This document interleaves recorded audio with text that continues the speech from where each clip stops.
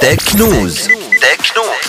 في تكنوز لليوم نحكي على واتساب اللي أطلقت النسخة التجريبية لتطبيقها على نظام التشغيل أندرويد وتجلب معها تصميم جديد لواجهة خاصية الكاميرا الخاصة بالتطبيق. التصميم الجديد يختفي فيه زر التصوير مع دائرته الزرقاء الداخلية باش يتحول إلى زر أبيض مع تغيير في الليزيكون فلاش وليزيكون كاميرا مع إضافة إمكانية الاختيار في الصور الموجودة. النسخة التجريبية اللي جات بعد أيام قليلة من إطلاق نسخة أخرى جلبت معها برشا مزايا أبرزها إمكانية الرد على الرسائل من الإشعارات مباشرة بالإضافة إلى مجموعة من الخيارات لجهات الاتصال والمجموعات وخلفيات الشاشة وعرض اسم المستخدم والحالة مع الصورة الشخصية هذا معنا في تكنوز اليوم متابعة طيبة. تكنوز تكنوز